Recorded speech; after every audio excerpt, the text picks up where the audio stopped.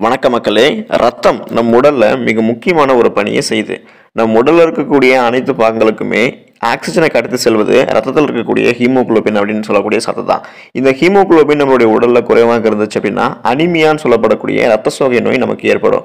So ரத்த சோகை நோயை குறைக்கணும் அப்படின்னா இரும்புச்சத்து அதிகமாக இருக்கக்கூடிய உணவுகளை எடுத்துக்கும் போது நமக்கு வந்து பார்த்தீங்கன்னா ஹீமோகுளோபினுடைய அளவு அதிகரித்து ரத்த சோகை போன்ற நோய்கள்லாம் நமக்கு குறைஞ்சிரும். அந்த வகையில் ரத்தத்தை நீங்கள் வேகமாக உங்களுடைய உடலில் ஊற வைக்கிறதுக்காக நீங்கள் என்னென்ன உணவுகளை வந்து பார்த்தீங்கன்னா சாப்பிடணும் அப்படின்றத பார்த்தா நான் உங்களுக்கு இந்த பதிவில் சொல்ல போகிறேன் வேகமாக ரத்தம் ஊற சாப்பிட வேண்டிய உணவுகளை குறித்து விரிவாக பார்த்தலாம் அதை பார்க்கறதுக்கு முன்னாடி இந்த வீடியோக்கு ஒரு லைக் கொடுத்துட்டு இந்த தகவலை உங்களுக்கு தெரிஞ்சவங்களுக்கும் ஷேர் பண்ணுங்க. இது அவங்களுக்கும் பயனுள்ளதாக இருக்கும். இது ஒரு ஆரோக்கிய பதிவு.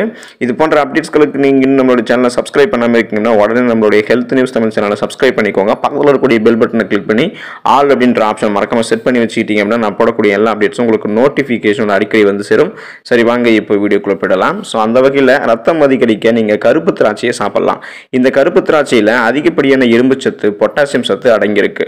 முதல்ல ஹீமோகுளோபின் வந்து பார்த்தீங்கன்னா இருக்க வேண்டும் அப்படின்னு நினைக்கிறவங்க ஓரளவு கருப்பு திராட்சையை வந்து பார்த்தீங்கன்னா தண்ணீரில் ஊற வச்சு மறுநாள் அதை மிக்சியில் போட்டு நீங்கள் அரைச்சி வெறும் வயிற்றில் பருகுவதன் மூலம் உடலில் ஹீமோகுளோபினுடைய அளவு அதிகரித்து கொள்வதற்கு உங்களுக்கு உதவிகரமாக இருக்கும்.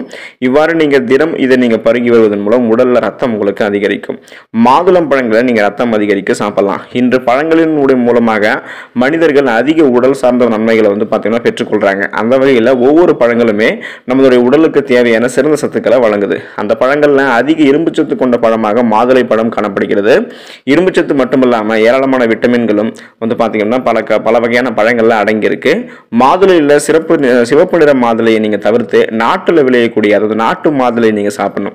ஸோ அதை நீங்கள் சாப்பிடலாம். அல்லது நீங்கள் அந்த மாதுளையை ஜூஸ் செஞ்சு குடிக்கிறது மூலமாக உங்களுடைய உடலில் வந்து பார்த்தீங்கன்னா ரத்தம் அதிகரிக்க முடியும். ஹீமோக்ளோனுடைய அளவை அதிகரித்து ரத்த சோக நோயை உங்களால் குணப்படுத்த முடியும். பீட்ரூட் ஜூஸை நீங்கள் ரத்தம் அதிகரிக்க சாப்பிடலாம். காய்கறி வகைகளில் அதிகப்படியான இரும்பு சத்து கொண்டது ஒரு காய்கறியாக இருக்குது அப்படின்னா அது பீட்ரூட் பீட்ரூட் தான். ஸோ பீட்ரூட் வந்து பார்த்தீங்கன்னா நீங்கள் சாப்பிடும் போது இந்த பீட்ரூட்டை நீங்கள் அடிக்கடி உங்களுடைய உணவில் சேர்த்து கொண்டே இருந்தீங்க அப்படின்னா உடலில் ரத்தத்தோடைய அளவை வந்து பார்த்தீங்கன்னா இது அதிகரிக்க உதவிகரமாக இருக்கும். மேலும் இதை நீங்கள் மதிய நேர உணவுகளில் சாப்பிடும் போதெல்லாம் அல்லது நீங்கள் இதை தினமும் ஒரு பீட்ரூட் ஜூஸ் வந்து பார்த்தீங்கன்னா ஒரு டம்ளர் நீங்கள் குடிக்கும்போது உங்களுடைய உடலில் ரத்தம் வேகமாக வந்து பார்த்தீங்கன்னா ஊற ஆரம்பிக்கும். அதுக்கடுத்து ஆட்டு ஈரல். ஆடு மற்றும் பன்றியினுடைய ஈரலில் அதிகப்படியான இரும்பு மற்றும் புரதம் விட்டமின் பி டுவெல் போன்ற சத்துக்கள்லாம் அடங்கியிருக்கு. இந்த மூன்று ஊட்டச்சத்துக்களும் அடங்கியிருக்கக்கூடிய ஒரே உணவு அப்படின்னா இந்த ஈரல். எனவே நீங்கள் இந்த ஆட்டு ஈரல் பன்றி ஈரல் இதெல்லாம் நீங்கள் சாப்பிடும் போது ரத்தத்தை வந்து பார்த்தீங்கன்னா இது உங்களை உடலில் வேகமாக ஊற வச்சு அதிகரிக்கும். ஸோ அதனால் ரத்த சோகை நோயை நீங்கள் குறைத்துக்கொள்ள ஆட்டு ஈரல் உங்களுக்கு உதவிகரமாக இருக்கும். எனவே உங்களுடைய உணவுகளில் இந்த ஈரலை ஒரு வேளை மட்டுமே நீங்கள் சேர்த்துக்கொள்வது ரொம்பவே நல்லது. கீரை வகைகளை நீங்கள் எடுத்துக்கலாம். கீரை வகைகளை பொறுத்த வரைக்குமே நாம் அனைத்து கீரைகளையும் சாப்பிடுவது நமக்கு நல்லது. பல வகையான கீரை வகைகள் காணப்படுகிற போதிலும் அதிகப்படியான இரும்பு சத்து கொண்டிருக்கக்கூடிய ஒரு கீரை வகை முருங்கைக்கீரை. எனவே உங்களுடைய உடல்ல ரத்தம் அதிகப்படியாக ஊற வேண்டும் அப்படின்னு நினைக்கிறீங்க அப்படின்னா கண்டிப்பாக நீங்க முருங்கைக்கீரையை உங்களுடைய உணவுல வந்து பார்த்தீங்கன்னா நீங்க அதிகப்படியாக எடுத்துக்கொள்வது ரொம்பவே நல்லது. முருங்கைக்கீரை சாப்பிட விரும்பாதவர்கள்லாம் முருங்கை காய்களை பொரியல் செஞ்சு சாப்பிடலாம். ஸோ அதுக்கடுத்து சிட்ரஸ் பழங்களை நீங்கள் ரத்தம் வேகமாக ஊறுவதற்கு எடுத்துக்கலாம். பழங்களான எலுமிச்சை அதுக்கப்புறம் வந்து பார்த்தீங்கன்னா தோடம்பழம் நாரம்பழம் சாத்துக்குடி பழங்களை வந்து பார்த்தீங்கன்னா சாப்பிடுவது மிகவும் நல்லது. ஏன் அப்படின்னா இந்த வகையான பழங்கள்லாம் அதிகப்படியான விட்டமின் சி சத்து காணப்படுகிறது. இந்த விட்டமின் சி சத்து வந்து பார்த்தீங்கன்னா இந்த விட்டமின் சி சத்து இல்லை அப்படின்னா நம்ம சாப்பிடக்கூடிய உணவுகளில் இருக்கக்கூடிய இரும்பு சத்தானது நமது உடலுக்கு வந்து பார்த்தீங்கன்னா சரியாக கிடைக்காம போயிடும். ஸோ அப்போ இரும்பு சத்தோட விட்டமின் சி சத்து சேரணும் அப்படின்னா கண்டிப்பாக நீங்கள் இதை சாப்பிடலாம். எனவே நீங்கள் விட்டமின் சி நிறைந்த உணவுகளை எடுத்துக்கொள்ளும் போது விட்டமின் சி நிறைந்த பழங்கள் நீங்கள் ஜூஸாக குடிக்கும்போது இது வந்து பார்த்தீங்கன்னா உங்கள் உடலில் நீங்கள் ஏற்கனவே சாப்பிட்ருக்கக்கூடிய இரும்பு சத்து நிறைந்த உணவுகளை வந்து பார்த்தீங்கன்னா உறிஞ்சி அந்த இரும்பு சத்து உங்களுடைய உடலுக்கு வந்து பார்த்தீங்கன்னா கொடுக்கும். இது உங்களுடைய உடலில் ரத்தம் அதிகரிக்கிறதுக்கு உதவிகரமாக அதிகமாக இருக்கும்.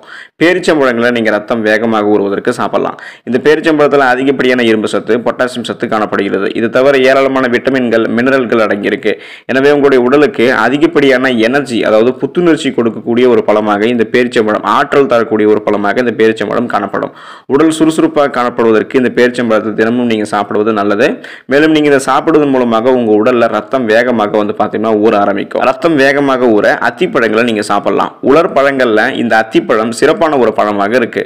இந்த அத்திப்பழத்திலும் அதிகப்படியான இரும்பு சத்து காணப்படுகிறது. இந்த அத்திப்பழங்களை தேனில் ஊற வைத்து சாப்பிட்டு வருவது ரொம்பவே நல்லது உடலுக்கு நல்லது அப்படின்னு சொல்லிட்டு மருத்துவர்கள் குறிப்பிடுறாங்க. இந்த அத்திப்பழத்தை தேனில் ஊற வச்சு சாப்பிடுவதன் மூலமாக உங்கள் நீங்கள் சாப்பிடக்கூடிய உணவுகள்ல இருந்து உடலில் சேர்வதற்கு அனைத்து சத்துக்களுமே வந்து பார்த்தீங்கன்னா தயாராக ஆரம்பிச்சிடும் ஸோ அத்திப்பழத்தில் இருக்கக்கூடிய சத்துக்கள் நீங்கள் சாப்பிடக்கூடிய உணவுகள் இருக்கக்கூடிய சத்துக்களை உங்களுடைய உடலுக்கு வந்து பார்த்தீங்கன்னா கொண்டு சேர்க்கும். எளிமையாக வந்து பார்த்தீங்கன்னா மிக விரைவில் கொண்டு சேர்க்கும். இதனால் உங்களுடைய ரத்தம் அதிகரிக்க நீங்கள் வந்து பார்த்தீங்கன்னா அத்திப்பழங்களை எடுத்துக்கலாம். ரத்தம் அதிகரிக்க நீங்கள் முட்டை முட்டைகளை உங்களுடைய உணவுகளை வந்து பார்த்தீங்கன்னா எடுத்துக்கலாம்.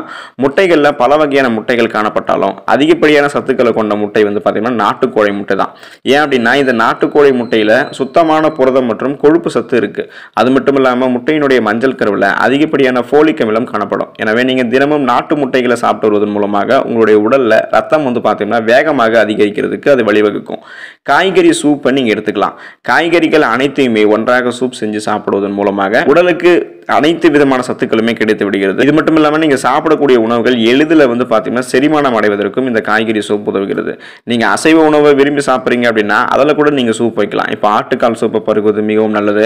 இந்த ஆட்டுக்கால் சூப் வந்து பார்த்தீங்கன்னா அந்த ஆட்டுக்கால் சூப்பு அந்த ஆட்டுக்கால் எலும்பு மூட்டு இது எல்லாமே வந்து பார்த்தீங்கன்னா உங்களுக்கு அந்த ஆட்டுக்கால் சூப் வச்சு நீங்கள் குடிக்கும்போது இந்த எலும்புகள் மற்றும் மூட்டுகள் வந்து பார்த்தீங்கன்னா பலம் பெறுவது ரத்தம் உருவாகுவதற்கு இது எல்லாமே உங்களுக்கு வழிவகுக்கும்.